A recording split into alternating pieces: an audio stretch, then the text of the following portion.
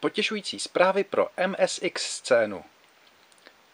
Po dlouhé době příprav konečně vychází dlouho očekávaná konverze automatovky Ghost and Goblins.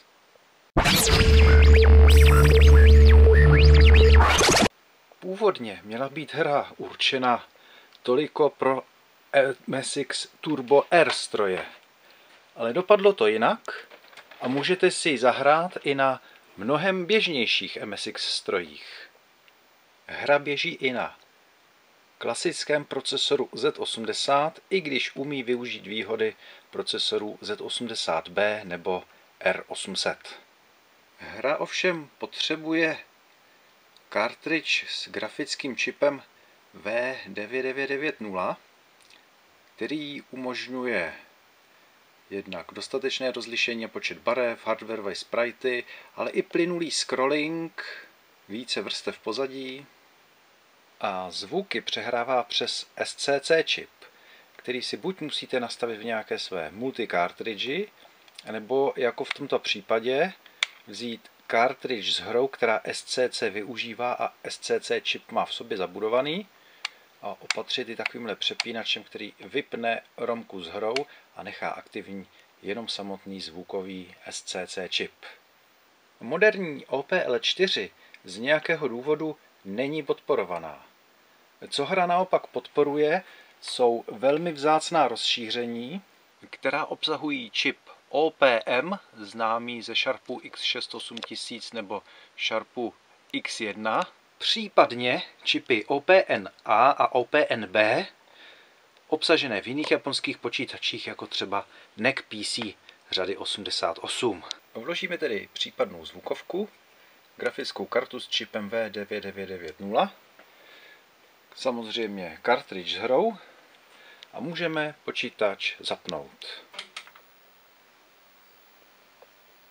Na druhém displeji se nám už objevil výstup z karty V990.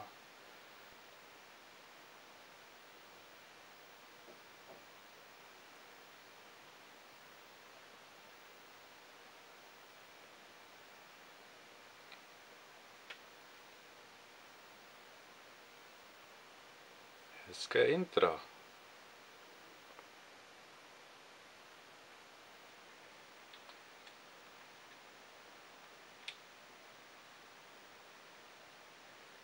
A je na čase si trochu pohrát.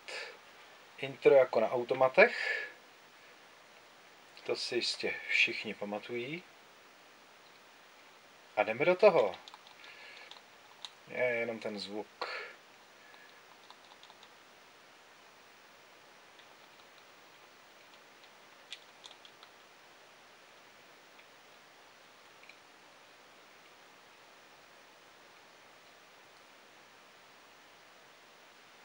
Tady je všech šest levelů vidět hezky na mapce.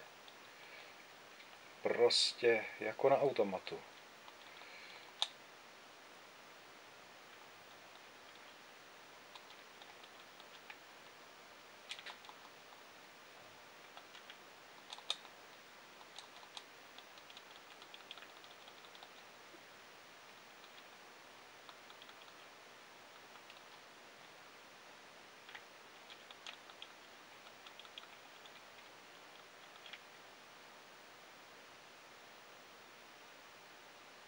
Chcete si ověřit, že hra poběží i na dvojkovém MSX?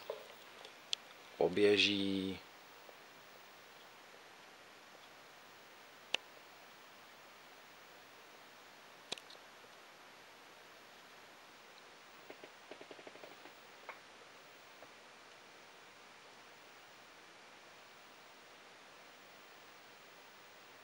Hraje jako na automatech, akorát ten zvuk jsem nezapojil. Škoda. Jako na automatech, každý level má jinou grafiku.